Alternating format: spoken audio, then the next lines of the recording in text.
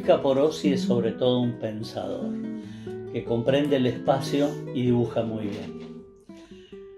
Con estas condiciones ha trabajado en diferentes escalas, el territorio de la provincia de Buenos Aires, la ciudad, especialmente Bahía Blanca, el espacio público y en edificios privados. Cuenta con una sólida formación macerada en el ambiente de la Universidad de La Plata y de su trabajo junto a los arquitectos Soto y Vidinós.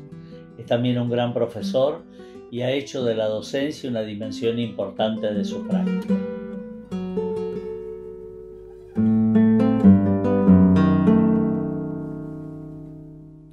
Sus obras son una demostración acabada de su capacidad. Con ellas logra expresar la potencia de la concepción general, pero sobre todo el virtuosismo en el diseño de los detalles. Se trata de atravesar las vicisitudes de las vanguardias en el traspaso de la utopía a la realidad, manteniendo el respeto por el oficio como diseñador y como constructor nos dice que las acciones de preservación no refieren al pasado, sino al futuro.